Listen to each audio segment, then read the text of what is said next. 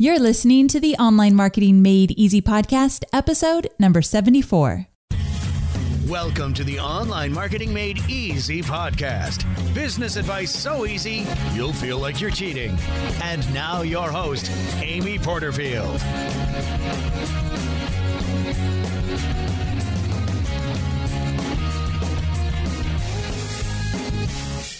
Hi there, Amy Porterfield here, and welcome to another episode of the Online Marketing Made Easy podcast. I'm delighted that you're here. I'm so glad you're tuning in because today we are talking copy. Now, listen, I know that I've talked about copy many times throughout my podcast, but it's a hot topic. Many of you that are growing your business online or you've been growing your business for a while now still struggle with copy. And I get it. I've definitely struggled for years and years. I always say pretty much in the last years where I feel like I kind of got my copy mojo, where I feel actually really confident about the copy that I'm writing. But I had to become a student of copy. So I followed anybody that I thought really knew what they were talking about and I respected the person. I got their books, I got their courses, I followed along as much as possible. And I had to really do the homework. I'm the type of girl that, like in school, nothing came naturally to me. I was a studier. I prepared. I guess I still do that in my business. But I always hated those people, but kind of secretly love them. Those people that it just came natural to them. Like they were great at math or they didn't have to do their homework and they were perfect at English or whatever. That's not this girl you're hearing right now. So, with that, it kind of went into my business as well. And I've got to really become a student of something before I get good at it. And I've made the dedication or the commitment, I should say, to become a student of copy. And I hope that you will follow that. I hope that you will do the same because when I finally felt like I got that copy mojo I talked about, things started to become easier in all of my business because I would sit down and dread having to write a promo email, or I'd hate the thought of even writing anything for a sales page because I had zero confidence in my ability to do so. But when that confidence started to kind of build up and up and up, then I thought, yeah, bring it on. This is exciting because you get to communicate your message. We're all passionate about what we do in our business. So, what better way to spend our time than to actually craft messages that are going to get people to be just as excited about what we teach as we are to teach it? That's what I love about copy. So, I'd much rather delegate all the Infusionsoft stuff and the, the back end funnel stuff and all the techie stuff. Like, no, thank you. Go, you can help me do that all day long but I want to at least really own the ability to write copy. Now, I've since actually hired a copywriter for some of the projects I'm working on, but the coolest thing ever is the guy I'm working with, his name's Ry. The two of us get to work together, and he really understands my voice. And I talk to him about what works, and I give him examples of things I've written. And, and so I feel like sometimes it's more of a collaboration because I can never give away my copy completely. It's something that I always want to be involved in. So I still write my emails. I still get involved in a lot of the different content that you see out there. So my fingers are on all of it when it comes to copy. I can't say that about everything else in my business because I have to delegate in order to stay sane. So, anyway, I'm passionate about this topic and I really want to share it with you as well. Now, my guest today is Nikki Elledge Brown, and she's known to her clients as the communications stylist. Now, Nikki is fantastic at copy. And not only does she write amazing copy for her own business, but she teaches copy in a way that you really can understand because she puts it into recipes. There's a recipe for how you write copy for blog posts. There's a recipe for how you write copy for your sales page, for your video scripts, for your about page, for your work with me page on your website. There's recipes, and she really breaks it down in a way that is very doable. So many of us get tripped up in terms of uh, how to write copy in a way that's going to get people to take action, to do something, to actually buy. She addresses that in all she teaches when it comes to copy.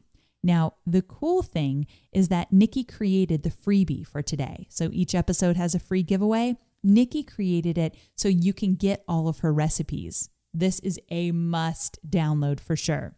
So, to get the free giveaway for today, to learn the recipes, she's going to talk about them, but she literally outlines them in this free giveaway. You can get it at amyporterfield.com forward slash Nikki, and that's N I K K I. So amyporterfield.com forward slash Nikki. And when you get this PDF, I want you to save it. And every time you sit down to write something new, go through the PDF and find the recipe you need and use that because it will take you so much less time to formulate what you want to say when you actually have a formula or a recipe to do so. Before we dive in, I want to thank our sponsor today, 99 Designs. Now, I'm such a huge fan of this company because they can take care of all your graphic needs. We're talking logos, social media cover images, website graphics, and so much more. So visit 99designs.com forward slash Amy and get a $99 upgrade for free. Now, I love Nikki because I think she's smart, offers extremely valuable advice, and the girl just walks the talk. Like if you go to her website, which I'll link to in the show notes, but it's nikkielledgebrown.com. When you go to her website, you'll see that she makes lots of videos. She's constantly blogging. She has a course about copy and the way she talks about that course, there's no way for you not to want it. Like she knows how to write copy that will get you engaged and make you just fall in love with her. And who doesn't want to write copy like that, right? So I feel like she's the real deal in all that she does. And I love looking for people to interview that actually walk the talk and do exactly what they're teaching. And they're a great example of that. And that's what Nikki's all about. So I'm really proud to bring her on the show today. I hope you fall in love with her as much as I have. Let's get to it. Nikki, thanks so much for being here today. I'm so delighted that you're here. Yes, I'm so excited. Thanks for having me. I just have been waiting for this because you have such a cool way of sharing your content and how to write copy that we're going to get into all of it. But I'm going to give a teaser question that I'm not going to let you answer till the very end, but it's okay. going to be a good one. Okay. So, in the intro, I talked about you being amazingly successful. And one of the things I want to know at the end, so we're going to keep it to the end, is what is your recipe for building such a huge, amazing business in about a year? So, Ooh. we're coming back to that. All right. Because okay. I want to hear what you have to share in terms of how you've done what you've done. Okay. But before we get there, let's start from the top. So, I've heard you say that you don't really consider yourself a copywriter, rather, you're an expert in communication. Yet, somehow you've built a six figure business in about 16 months by teaching people how to write great copy. So, can you explain how your focus on communication helps you write better copy? Yeah, the way that it all came about was because my degrees are both in communication studies. So, literally, the social science of communication. And when I was inspired to share that gift in a bigger way at the beginning of 2013, I'm thinking, okay, how can it be a business? Who would pay for it? Okay, well, entrepreneurs, because your booty is on the line. Like you would pay for it because you're losing money if you're not communicating effectively. And the copywriting element just kind of naturally bubbled up when I started asking people, what do you want help with? Because I'm like, I could help you with the awkward, you know, customer service email. How do you say this? Or I could help you with your public speaking.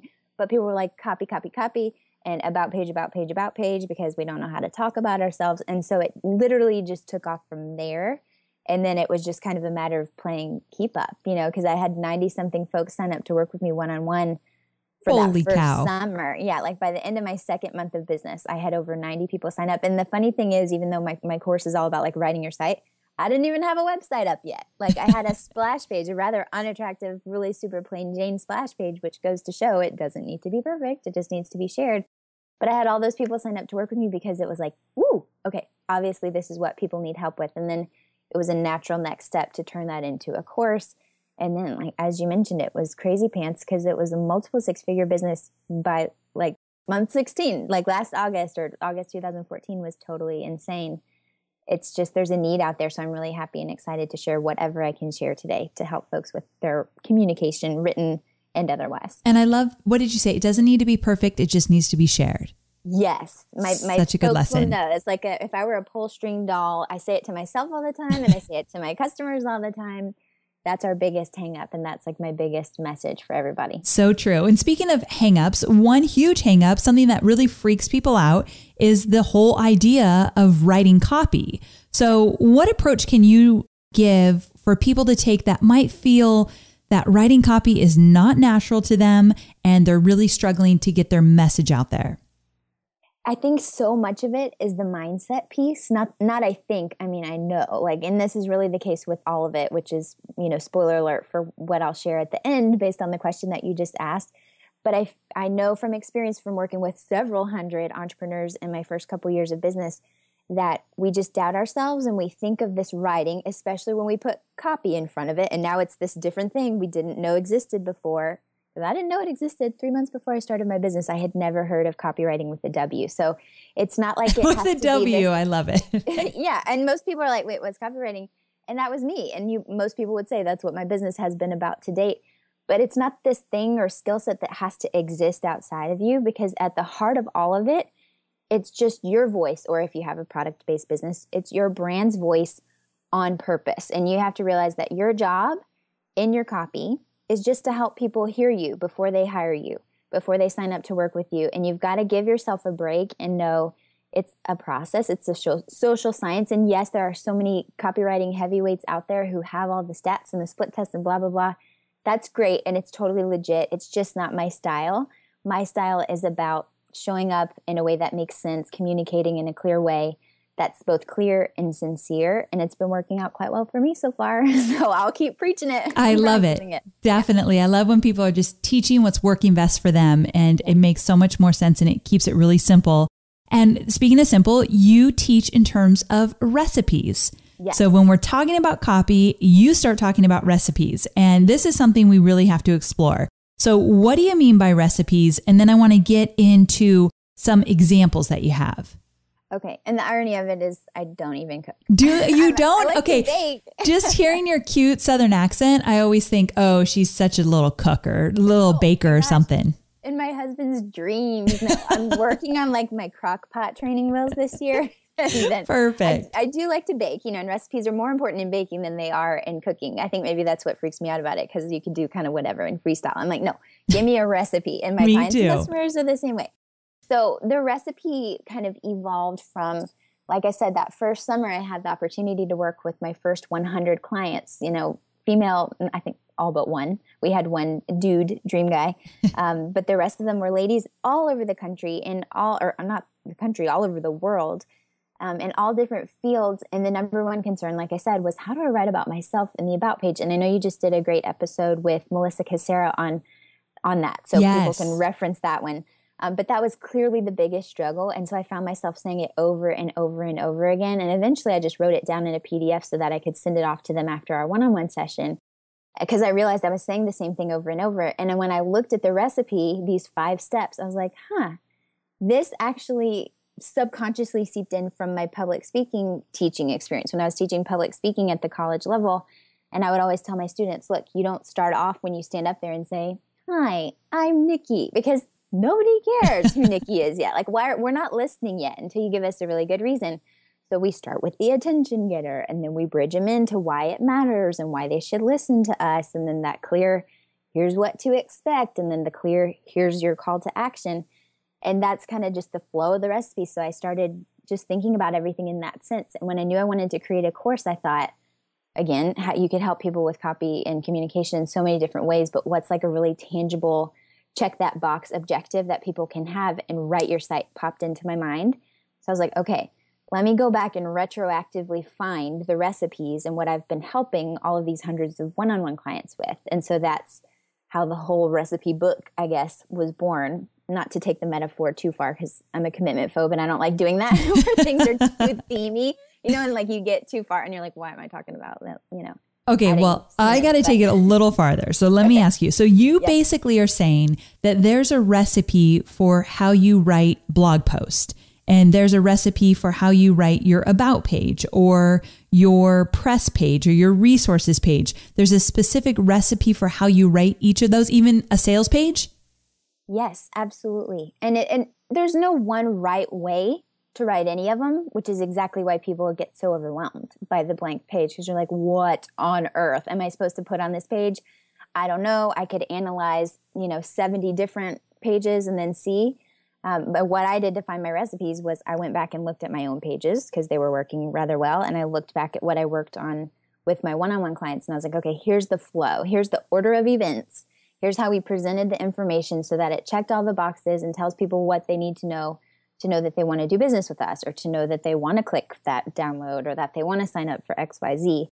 so yeah, I, I like to think in recipes because I just think of it as kind of training wheels. I also just think in a lot of metaphors and analogies and word pictures, like the communication stylist is my biggest example.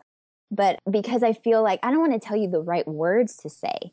I just want to give you a structure, like a scaffolding that you can hang your words on. You know, then you fill in the blanks. You know, okay, I want to get their attention. I want to reassure them. I want to introduce myself. And then you take that and run with it and showcase the best of what you have to offer within the comfy, you know, comfy training wheels of having that recipe as yes. a starting block. And I like that. That does give you a little comfort and a little confidence there. So let's break it down and make it a little bit actionable. Let's okay. say you're going to write a blog post for your actual content, some how to okay. content that you know you can teach really well. What kind mm-hmm. of recipe are we looking at?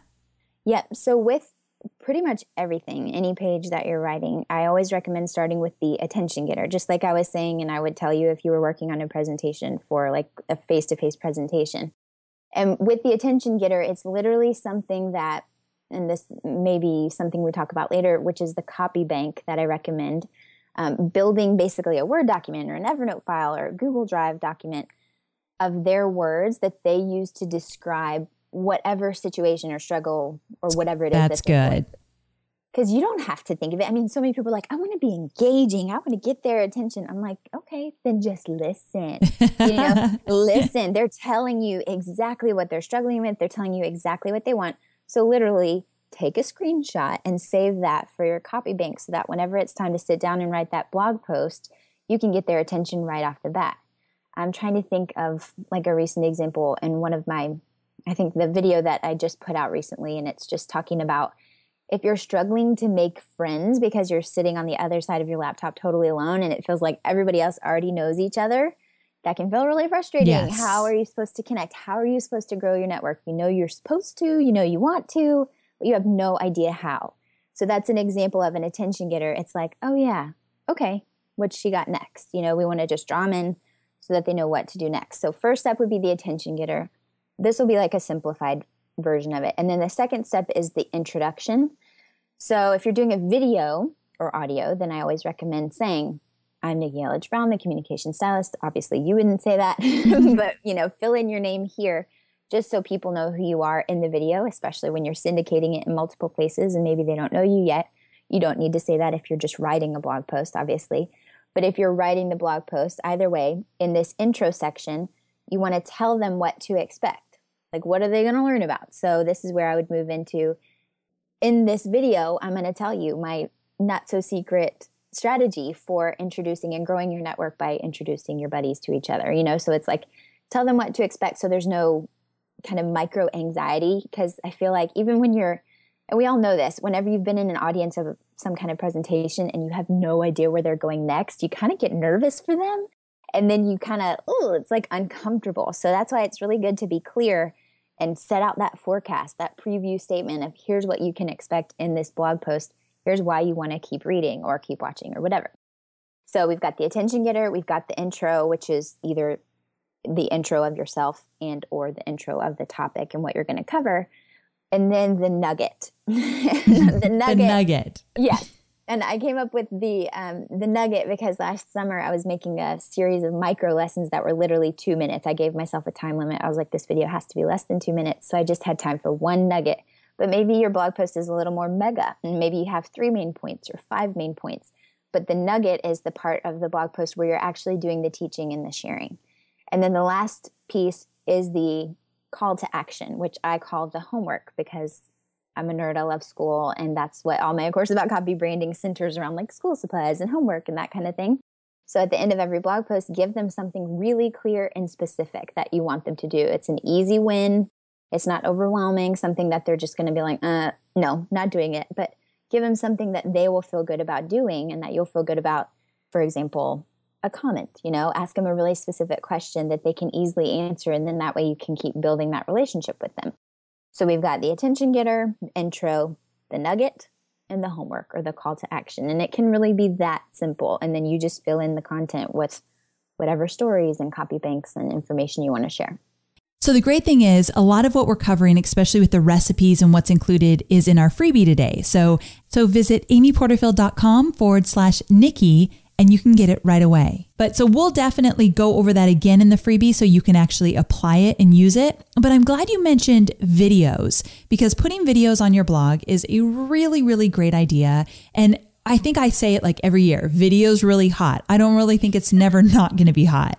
You recently did a video where it was really, really personal and you announced that you are having a baby, baby number two. So, congratulations. Thank you. Thank you. But that video, not only was it so super sweet, but in very, very personal, but you also found a way to bring it back to them, those people, us that were watching. So, my first question is Do you do something different with your videos than you do, let's say, with blog posts? And then a question to follow that is When should you be using videos on your blog versus written blog posts?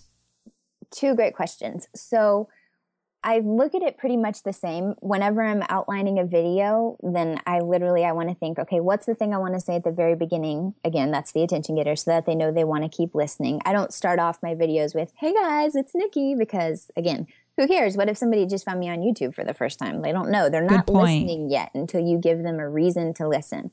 So I do. I always start off with the attention getter. I literally introduce myself, Nikki Elledge Brown, communication stylist, and then I dig into the content, the nugget, whatever it is, and then I always end up with that call to action. So I still use the recipe. I mean, my my friend slash she was a founding member of a course about copy, and that's how I met her. And now she's one of my dearest biz buddies, Tamsen Horton. She's like, Your recipes are like Lawry seasoning, like they go with everything. and so, again, I don't cook, but I do know what that is.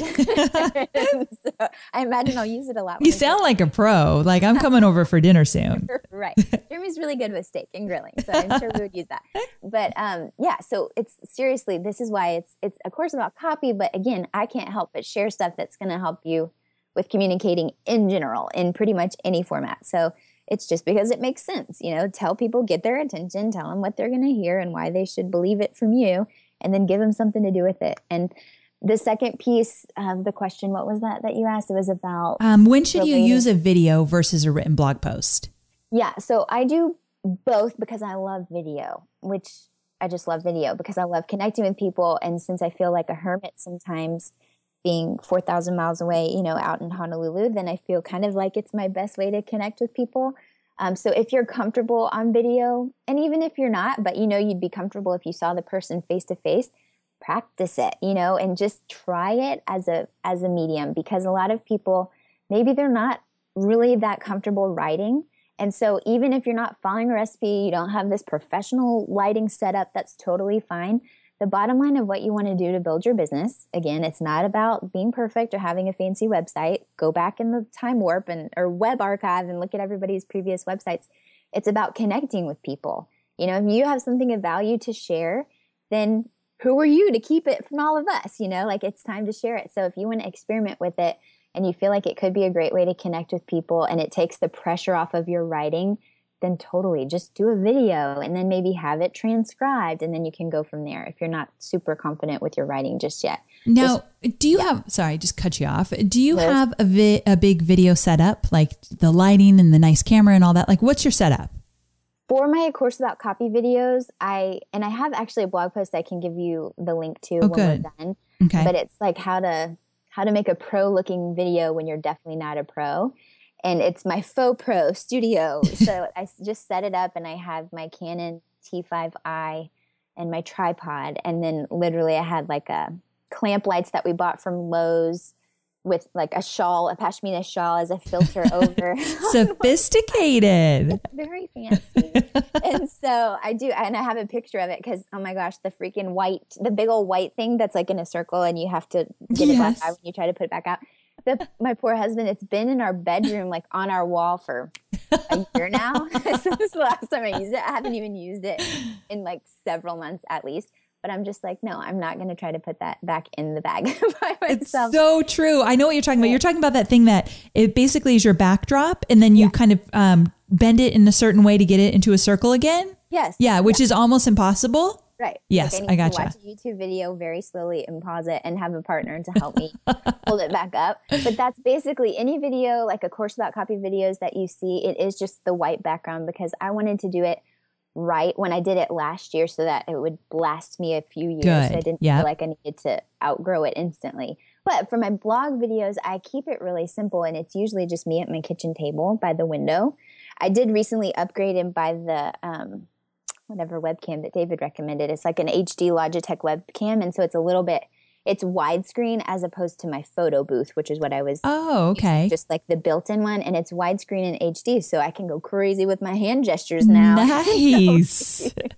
They'll be in there. So we'll see. And I'm about to. I have a twinkle in my eye of a, of a podcast and a video podcast, and so I do want to step it up a little bit for the regular stuff because it nice. will hopefully be podcast material. I could see you doing a really awesome podcast. I'm pretty sure that has to be at the top of your list. Thank you. Okay, yes. Maybe well, yeah. after the baby. well, it's really it's pre-baby because my whole inspiration for it is I want a mega batch. Like I want to create so much great Smart. no matter what, I'm delivering value to my people and to my family without feeling whatever. So I'm about to go on a binge and I'm like, if I'm going to create all that content, then I might as well be repurposing it and leveraging it as much as humanly possible.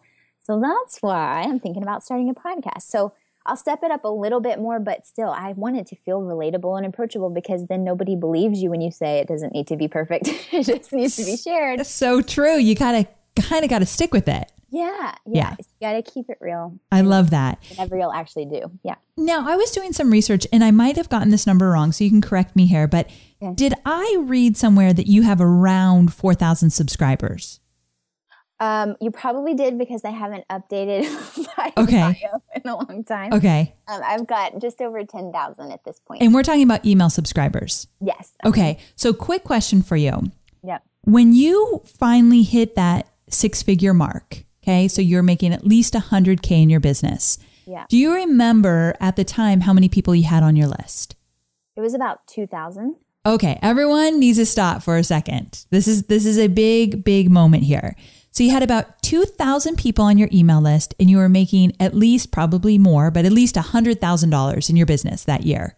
Yeah, cuz it was when I launched a course about copy for the first time and I I had set a goal for myself. I didn't know why because again, I would like to highlight I was making $14 an hour as a park ranger like 2 years ago, literally. Crazy, so crazy, it, crazy. It just wasn't in my possible like when I started my business I was thinking maybe I'll make $25,000 in my first year of business and, and you'll with be all rich. those people, like the 90 something people, we had made 21,000 by the end of the 6th week. Like, wait, was, what did your husband think of that? Because I remember when I started to really do well in my business, and my husband looked at me like, are we doing something illegal? Like, what's going on here? right. So, was your husband like, what the heck? Yeah, he was just like, what? I have to laugh and, and tease him because one day, especially once I got the Evergreen course going, he was like, you know, that green thing that you make money while we sleep, you know, the green thing.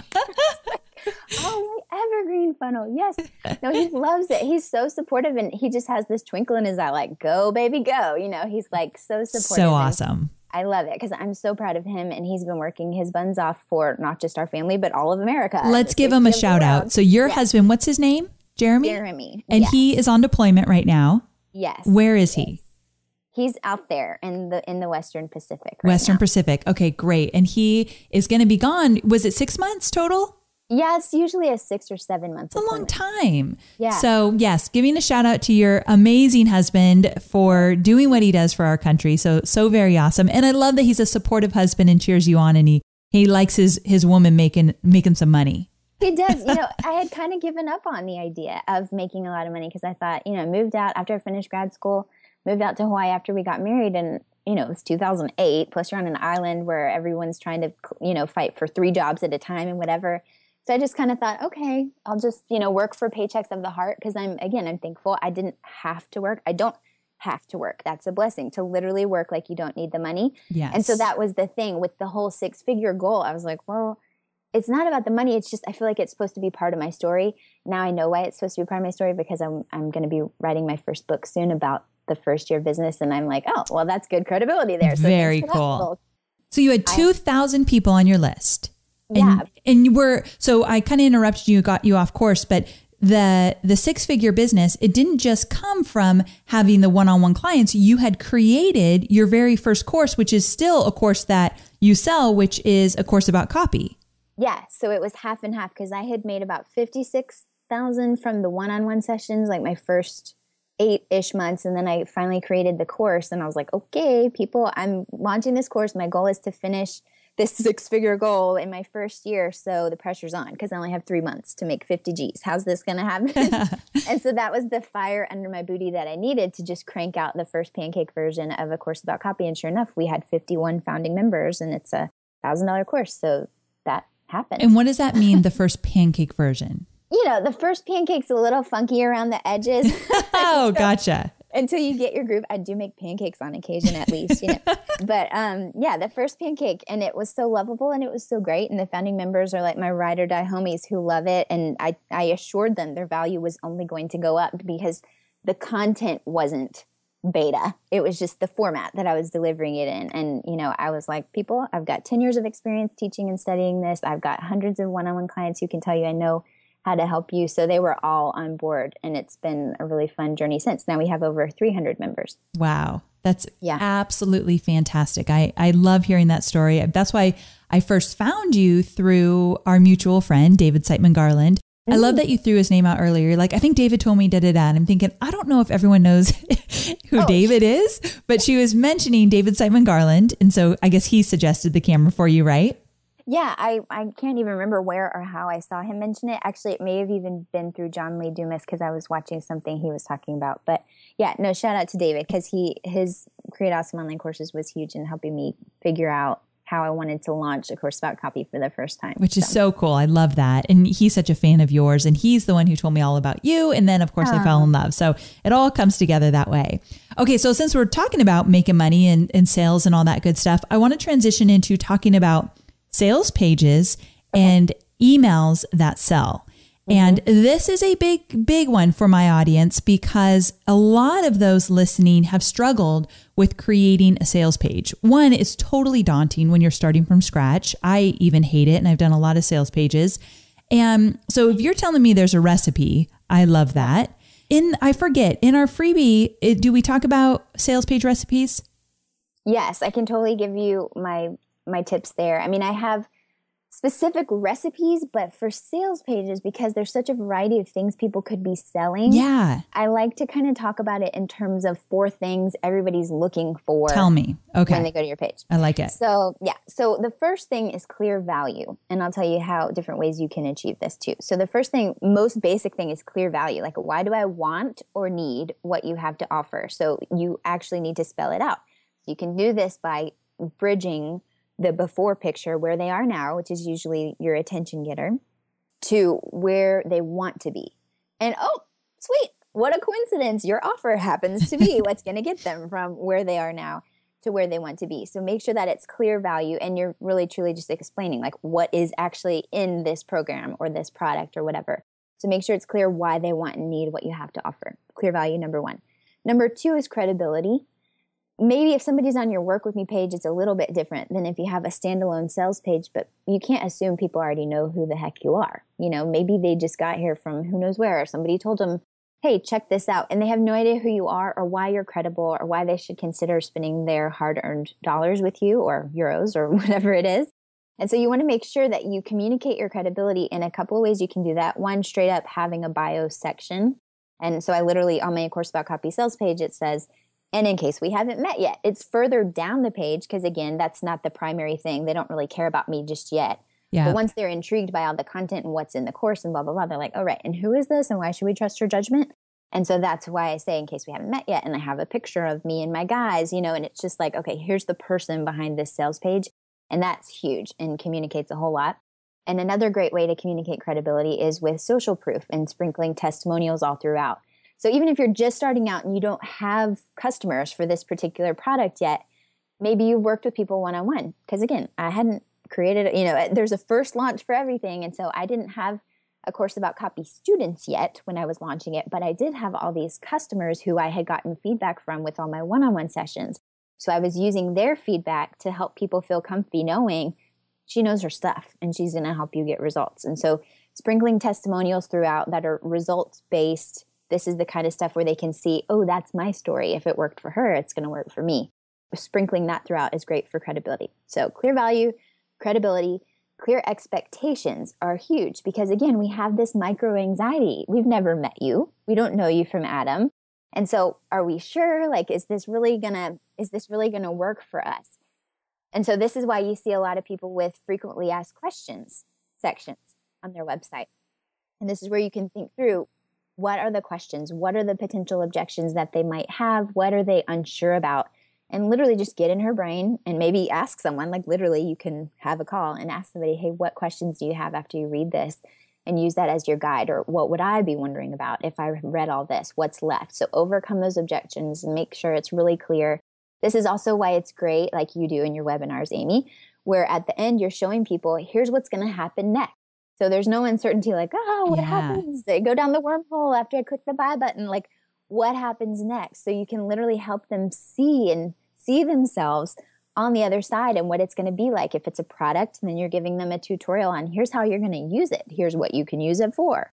And the same thing with a virtual tour. If you have a course, then show them what's the inside look like. I want to know and then it's you're bridging that gap and helping me make the jump and feel more comfortable with it and so clear expectations are huge and again this is why i had all those clients sign up before i even had a website because in the sales email i didn't have a website to have a sales page but in the email which ultimately became the copy for my work with me page i was saying here's exactly what you can expect before during and after our time together. So as soon as you sign up, I'm going to send you this email. And then during our first five minutes of the call, like super, I took it really seriously.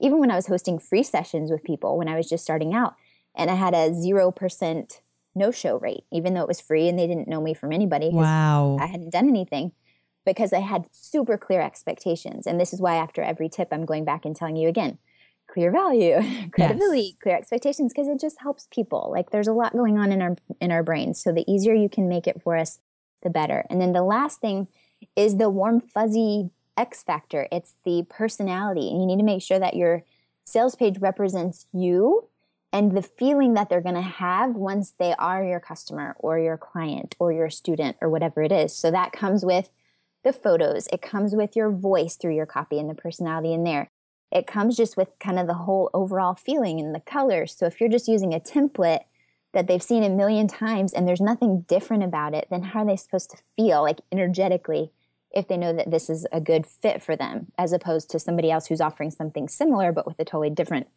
flavor? So clear value, credibility, clear expectations, and personality for that intuitive piece of buying decisions. Okay, so speaking of that personality type, you obviously have a lot of it. So it comes, it oozes out of you and comes natural. But that's not the case for everybody. So, yeah. first of all, I've got to tell everybody you've got to get on Nikki's email list because I'm a big fan of swipe files. So I collect swipe files of those people that I love their emails. I always open them up and I love to read them. Nikki is at the very, very top of that list. So if it's, they're awesome. So if you want to really see a great email strategy in action. Nikki's your girl. So I'll make sure to link to her website in the show notes as well as all the other stuff we're talking about. But speaking of that, I want you to give me some tips because your sales emails, like all your emails are great, but your sales emails are like magical. I don't know what's going on, but they have this feel like I literally think you're my best friend talking to me. I know you're selling me something and I'm just like, give it to me, girl. I, am ready. So, what is going on there? I don't know how you're striking this tone. And not everybody, your personality is not going to fit for everybody, but yeah. what do you have to say about that? You've got to know something. So, there are a few things. And one of the most important things I want to say, and again, thank you for all of the lovely yeah. words. No pressure, everyone. Now that you read my emails, oh my gosh, they're good.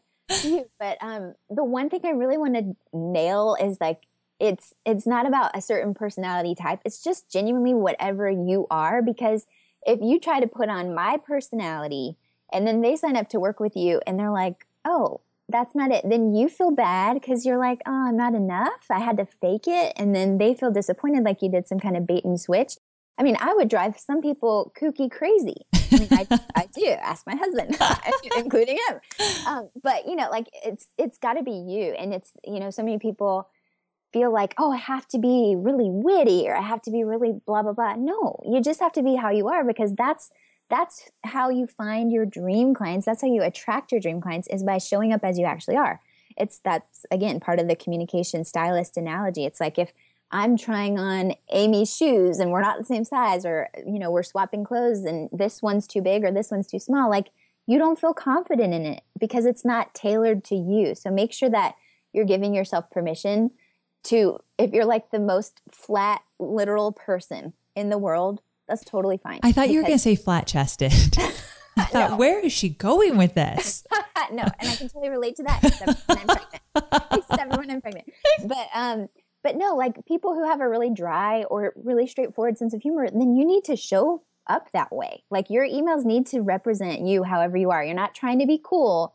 You're trying to be you, however that is. And that's th- those are the coolest people. You know, the ones who like so true. Trying. They're just like, yeah, this is me. This is what you see is what you get. But we want to rein that in. So it's the authentic piece plus the smart piece. And so one of the tips I would give you for email or anything that you're writing is to think about the purpose of that deal. So whether it is your sales page or your blog post or a Facebook post or whatever it is in an email, you want to think about what do you want people to know? Straight up, what's the information? What do you want them to know from this piece of communication? How do you want them to feel about whatever it is that they know? Because that's how you can kind of style and massage the language so that it, it portrays that, you know, nonverbal piece. And then what do you want them to do? Like literally, what do you want them to do? If you have 10 calls to action, and I'm guilty of this sometimes because I'm like, no, there's just a lot I want I want to say this week. I do want them to come join me on Instagram and I do want them to come comment and I do want them to look forward to whatever. That's kind of overwhelming though. So the better and clearer you can be with that call to action at the end, yes. the better results you'll have. So, totally agree. Those are some great tips. And I love that you're your goal here is just to be yourself. Let's not fake it. Really own that. And you're going to find your perfect ideal audience for you. So that's such a great point. And you have some writing exercises. i I saw on your blog, you have these three easy exercises to rock your writing style. You're cool with us linking to those, right? Yes, and that was actually in another interview that I did with Kelly Higdon over at ZynnyMe, and they lead a group of um, of therapists, which I thought is really cool. Like it's fun to speak specifically to direct specific industries. And I yes. think I'm going to experiment more with that whenever I'm promoting a course about copy because I think it's really cool. Like, okay, these are the things that dentists really struggle with. these are the things that I'm telling you, there's really some struggle with. There's yeah. a need for that, getting really specific. So, so what I'm referring to, I must have found it over there where you were actually talking to what was it, therapist? You said. Yes. Okay, but gotcha. It, it, applies to everybody. So I wrote them down so that we could we could cover them here too. Oh, good. Let's do it. Yeah. So one of them is, and I'll put them in our in our freebies. So okay. we have there too. It's going to be a mega. It is. This I is thought, a mega freebie, everybody. Yeah, like it's a mini notebook, but it's actually kind of mega.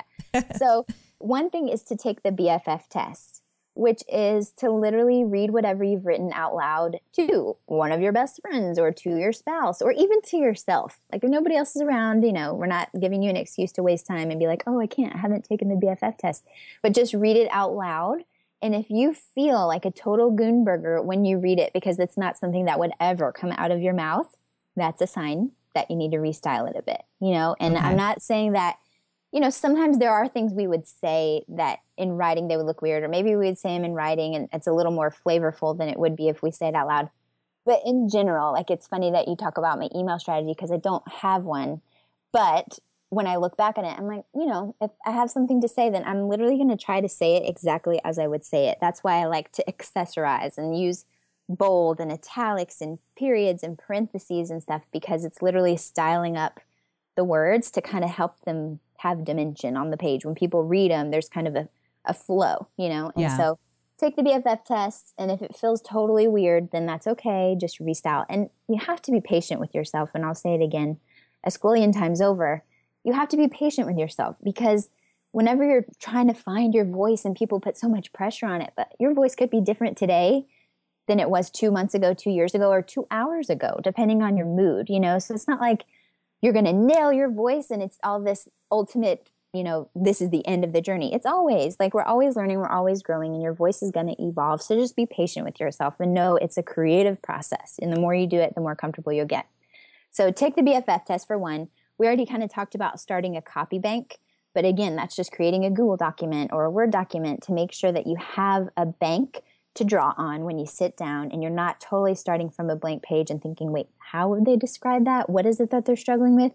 Because we could think, especially again, to use the therapist example, the kind of jargon that they have and that they would use with their peers is not the same thing that their clients are Googling and searching for, you know, like the terms that they would use. So yeah, you want to use your words, but when it comes to attention attention getters and stuff, you want to use their words so that they know that you know what's going on and that they can trust you because you get it. So you can either proactively ask people if you already have an audience and you want to do a survey of some kind or actually call them on the phone. Yeah. Gasp, what kind of idea? You know, actually talking to people like, hey, what do you want? What can I help you with?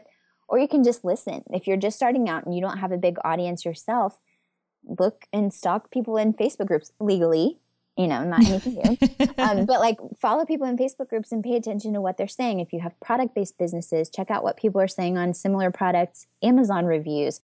Follow the big blogs or the big Facebook pages where people, I mean, there's copy banks, an abundance of copy banks just waiting to be discovered, you know, for people who are working with entrepreneurs or female entrepreneurs. My buddy Carrie Green in the Female Entrepreneur Association, she has over 200,000 followers she's got a lot of comments and there's a lot of insight. You know, she'll ask a question in like a photo image kind of thing um, with words and she'll say, What's your biggest struggle right now? And I'm like, Hello, copy bank. You know, it's all over the place if you're ready to look for it. Yes. And that's the thing. If you're ready to look for it and you're really paying attention, that's why I like little systems. Like I use uh, Snagit and I take just a little quick snapshot, put that snapshot into uh, Dropbox, and then I've got all of these little snapshots I can go back to again and again to remember what my audience is talking about. So yeah. as long as you've got a system, you'll keep doing it over and over again. Yeah, and eventually you won't even need to, and you won't because it's just in there. Like I haven't looked at an actual copy bank in quite a while, and you don't want to get out of touch, you know. But I just know, I know this is what they want, and it's again, it hasn't even changed. Two years from now, I'm using the same copy, some of the same copy on my work with me page that was in those original emails two years ago when I was just starting out. Like, fantastic. Got the ideas, but the words just aren't coming, you know? Yep. So, BFF test, copy bank. And then I think in the interview, I was talking about one more, which is basically to get unstuck when you don't know what on earth to write about. Yeah. And there are two ways that could go. Because on one hand, maybe you don't have enough ideas. And, you know, people, she was talking about how many blog posts she writes. And I'm like, first of all, it's okay to give yourself permission not to do a blog post. Amen, and, sister. Yeah, like we don't need to just fill the air with words and we don't need to just fill the internet with fluff and uh, I have to do it because I said I did it and you just power through. No, you really don't have to. But if you need ideas and you know you want to add value and you know you have something to share, look for inspiration that's just out in the world. Like my first video blog it's called How Running a Business is Like Breastfeeding. oh, wow. yeah. And I was just saying, like, hey, look, people, just because something comes naturally does not mean it comes easily. And I was talking about my struggle with consistent blogging because I was like, just because I'm an effective communicator doesn't mean that blogging comes easily to me. You know, and the same thing when I was a new mom, I'm like, what on earth? This is supposed to be the most natural thing, and it is freaking hard. and so my a lot of my audience is women and a lot of them are moms too. And so they're like oh my gosh i totally get it. It's great. And it's refreshing you know. So look for analogies out in the world and look for inspiration out in the world. Because when you tell stories that helps people hang on to the info and process the info better and it also showcases more of your personality and helps them get to know you better. So there's all kinds of good things about looking for inspiration out in your everyday life as opposed to just sitting at the computer and thinking i have to come up with a really great idea because that's the fastest way to kill the creative vibe. And then if you have too many ideas and you're having a hard time, you're stuck because you're like, uh, I have a you know a spreadsheet with 200 ideas. Then I like to just ask people, you know. So whether if you again if you have an audience or even a Facebook page of a few people or you just have a few clients, say, hey, what can I write about for you this week? You know, and it's just like TRL style, Total Request Live dating myself to my 90s. Okay, you're way too young to say TRL style. um, but you know, like a mutual inspiration society is really big for me. Like I I love knowing when I'm creating something that somebody's on the other side waiting for it and, and ready for it. Yes. That's honestly what pulls me out of my resistance and procrastination is to know, hey, Sally needs this bonus for her product based business. So you better get on it because she needed it like yesterday. So what are you doing? And so if you're stuck because you have too many ideas and you just don't know where to start, again, when all else fails, just ask the people you want to serve. There doesn't have to be an invisible wall between you. Just connect. So. Yes, I love that. That's fantastic. These are really good writing exercises.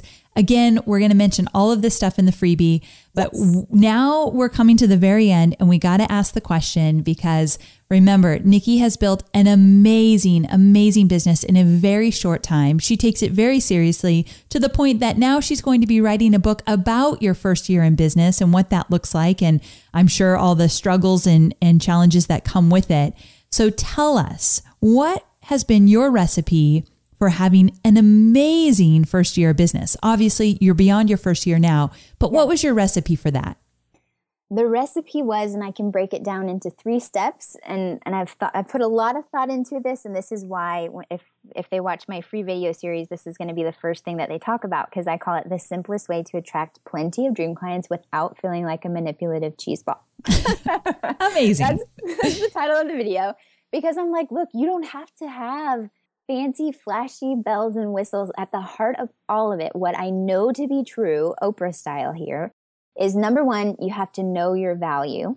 So you do, you have to be clear. Again, I didn't start a, I wasn't thinking, I want to start a business. What's it going to be about?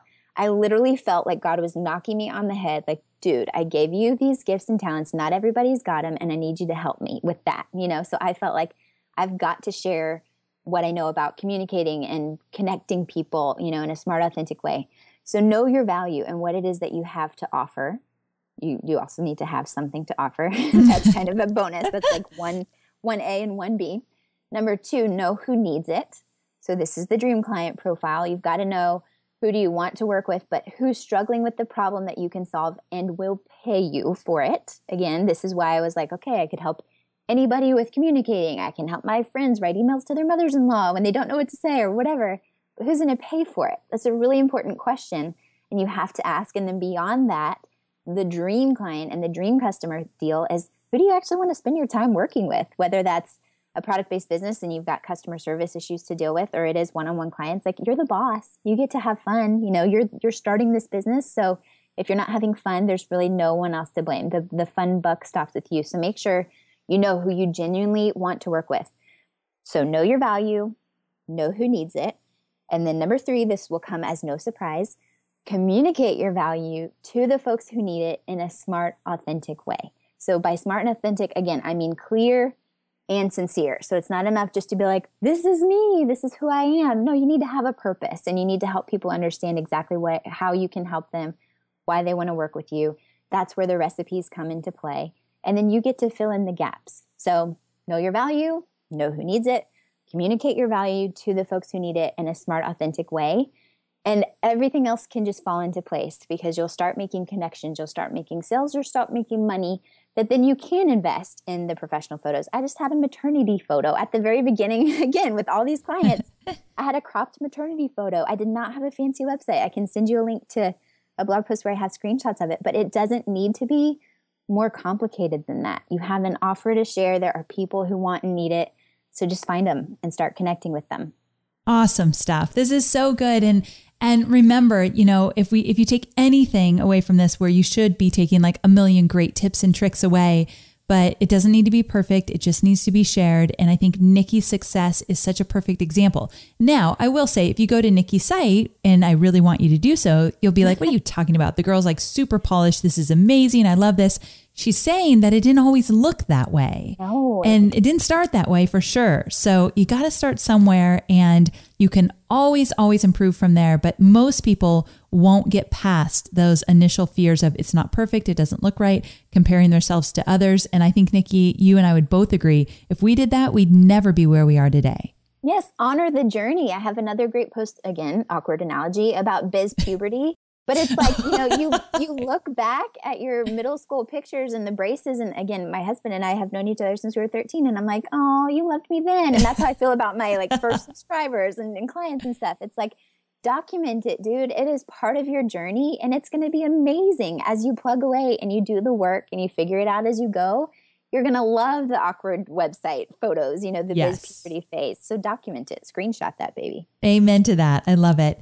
Nikki, I cannot thank you enough. I have been so excited for you to come on here and I can't even believe we've never really connected in person because I feel like I know you so well, but it will happen. But until then, thank you so, so very much for being here. Thanks so much for having me, Amy. Take care. So there you have it. I absolutely love this girl. I mean, it really helps that she has the cutest accent ever. So I love to listen to her, and I always think she has so many great tips and strategies for your copy creation.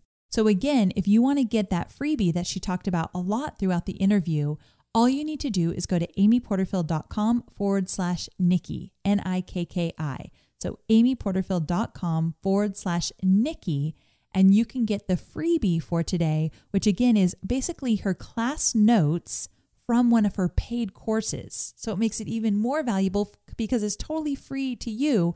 But a lot of the content you're going to get is actually coming out of her paid course, which I think is always awesome to get free stuff like that. Now, she's going to give you many of the mini recipes for writing your blog post, plus tons of other different things like your sales page, your about page, your work with me page, all of that good stuff, video scripts. And she's also going to give you a ton of advice on mindset and general rules that you can apply to you becoming a master at copy.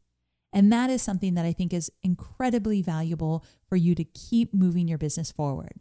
So make sure to grab that PDF. I think it's going to be incredibly, incredibly helpful for you.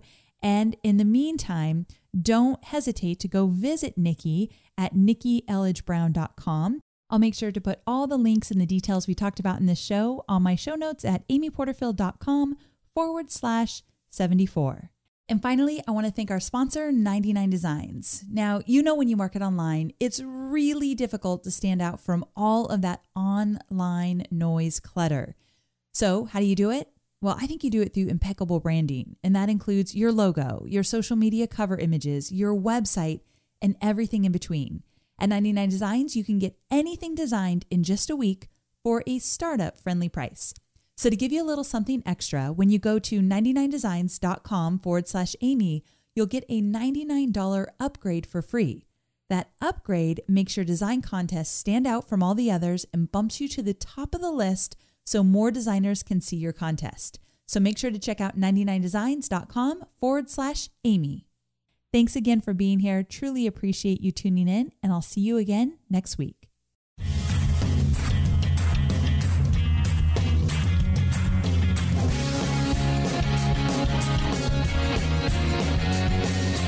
Thanks for listening to the Online Marketing Made Easy podcast at www.amyporterfield.com.